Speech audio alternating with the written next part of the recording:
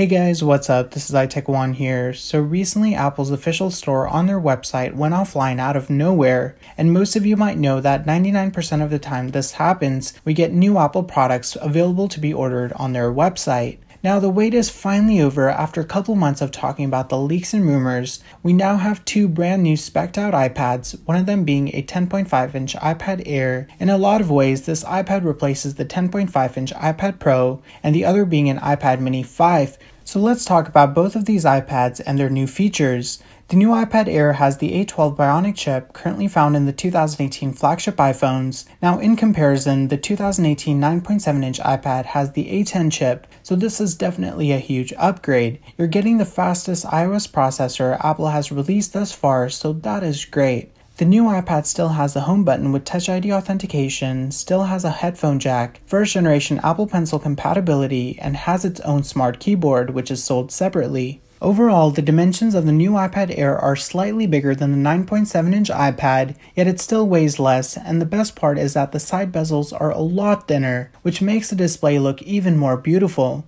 Also, this new iPad has a fully laminated display, so you won't get the huge gap between the top glass and the display like you get on the current 9.7 inch iPad. In regards to the cameras, the iPad Air comes with an 8 megapixel rear and 7 megapixel front cameras and comes in two storage sizes, 64 and 256 gigabytes, with a starting price tag of $499. On the other hand, the 7.9 inch iPad has gotten a huge upgrade after three and a half years. Like the iPad Air, the Mini has also gotten the fast A12 Bionic processor, fully laminated display, still retains the home button and headphone jack. The body and the display size is exactly the same as the iPad Mini 4. Though the biggest change on this new iPad mini is that it now has first generation Apple Pencil support, which I think is great for people who want a compact small device yet still have this extra option. It also has an improved front camera of 7 megapixel up from 1.2 megapixel on the iPad mini 4.